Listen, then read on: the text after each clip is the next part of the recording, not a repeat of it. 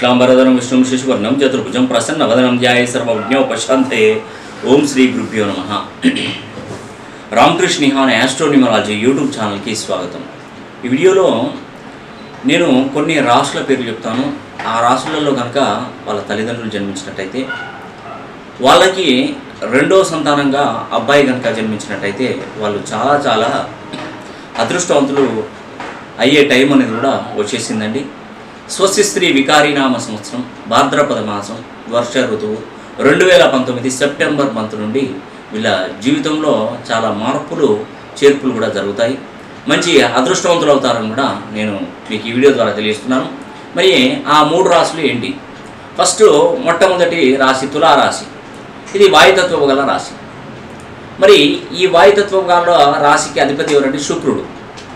మరి ఈ యొక్క చిత్తా నక్షత్రం మరియు స్వాతి నక్షత్రం జన్మించిన వారు తులారాశి వారే ఉంటారు.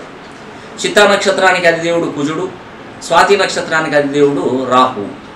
చిత్తా నక్షత్రంలో పుట్టిన వారు హనుమంతుడు స్వాతి నక్షత్రంలో నక్షత్రంలో పుట్టినవారు లక్ష్మీ నరసింహస్వామి. ఈ మూడు నాలుగు పాదాలు చిత్తా నక్షత్రంలో తులారాశి కిందకు వస్తాయి. అదేవిధంగా రెండో రాశి కన్యారాశి కన్యారాశి భూతత్వపు గల రాశి. మరి దీనికి అధిపతి బుధుడు. ఉత్తరా నక్షత్రం మరియు హస్త నక్షత్రంలో జన్మించిన వారు ఈ యొక్క కన్యా రాశి ఉంటారు. ఉత్తరా నక్షత్రంలో జన్మించిన వారు సాక్షాత్తు అర్జునుడు. హస్త నక్షత్రంలో జన్మించిన వారు సాక్షాత్తు ఈ యొక్క వినాయకుడు.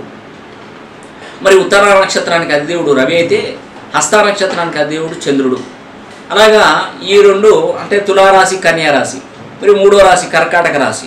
దీనికి అధిపతి ఇక్కడ మనం గమనించవచ్చు కర్కాటకము జలతత్వం అవడం వల్ల చంద్రుడు అవుతాడు అధిపతి. మరి దీంట్లో ఈ యొక్క కర్కాటక రాశి ఎవరికి వస్తుందంటే పుష్యమి నక్షత్రంలో పుట్టిన వారికి మరియు ఆశ్లేష నక్షత్రంలో పుట్టిన వారికి. ఆశ్లేష నక్షత్రానికి అధిదేవుడు బుధుడు పుష్యమి నక్షత్రానికి అధిదేవుడు శని భగవానుడు. పుష్యమి నక్షత్రంలో పుట్టినవారు భరతుడు అయితే ఆశ్లేష నక్షత్రంలో పుట్టినవారు సీతాదేవి. ఈ యొక్క కర్కాటకము మరియు కన్య మరియు తులారాశులు ఈ మూడు రాశులు ఈ ఈ మూడు రాశులలో కనుక పుట్టిన వారి యొక్క సంతానము రెండో సంతానం అబ్బాయి అయితే వాళ్ళు చాలా చాలా అదృష్టవంతులు అవుతారని కూడా నేను మీకు వీడియో ద్వారా తెలియజేస్తున్నాను. అలాగే మీ పేరులో ఉన్నటువంటి గొప్ప బలం ఏంటంటే మీ పేరే. ఆ పేరు బలాన్ని సంతరించుకున్నట్టయితే మీకు ఎలాంటి ప్రాబ్లమ్స్ అనేది కూడా తలెత్తవు.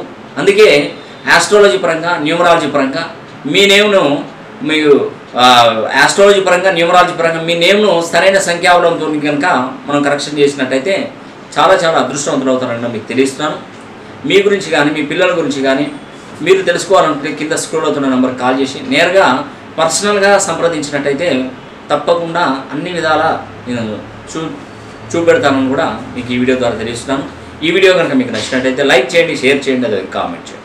సర్వే జనా